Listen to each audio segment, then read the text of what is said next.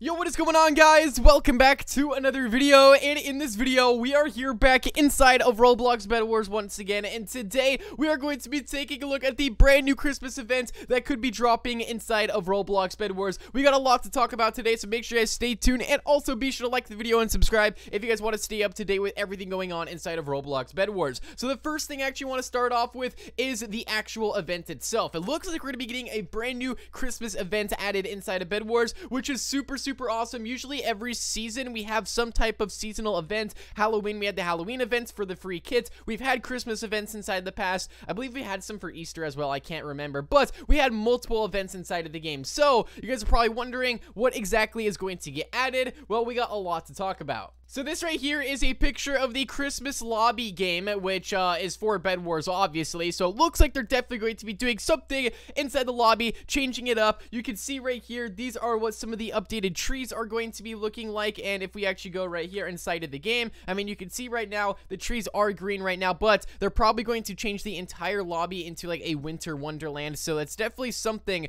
to look out for. Now, also, inside of pretty much every single event that we have inside of Bed Wars, they have have a person here that uh, we could actually use for currency, like the currency you collected during the event. They'll have like emotes, maybe even kit skins, potentially even new kits that you could buy. Now, the second thing I actually want to get into is the Christmas kits. So just recently, if we check the patch notes here and we scroll down to the balance changes, you can see uh, the Frosty now receives a Frosty Snowballs. So the decreased rate of receiving Frosty Snowballs went from 1.8 seconds to every 3 seconds right there. Uh, Frosty Snowballs decreased fire rates, decreased knockback, and decreased the uh, slowness on them. So it looks like they're updating Christmas kits inside of the game because if we pull this up and we type in Frosty, you can see that I actually don't even have this kit. I'd have to use my... Uh, my kit rental right here. So it's definitely an old kit inside of the game and they might be returning some more Christmas kits. But if they're doing changes to the Frosty kits, I'm assuming they're probably going to be bringing some Christmas kits back for a limited time or even potentially adding new ones. So there's a lot to look out for in this update. We could, we're probably going to have the lobby currency right here. We're probably going to be receiving some kit skins, potentially even some new kits as well. So it's definitely something to look forward to and maybe even some limited time modes. But as we get closer to the update, we'll keep you guys updated, but make sure to stay tuned because there could be some brand new